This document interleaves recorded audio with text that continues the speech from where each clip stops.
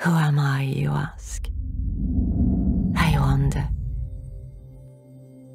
I wonder why I came to existence.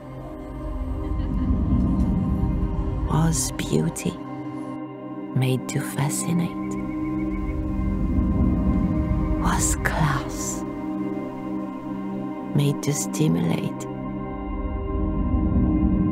Was feistiness made to dictate? Wondering was never a bad question.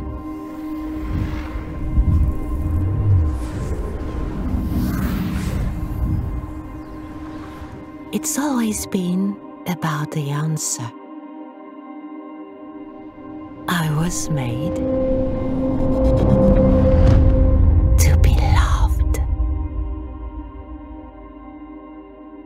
Who am I? I'm Hayden, femme d'amour. Hayden.